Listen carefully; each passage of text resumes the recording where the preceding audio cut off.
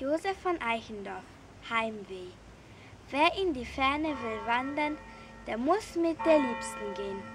Es jubeln und lassen die anderen den Fremden alleine stehen.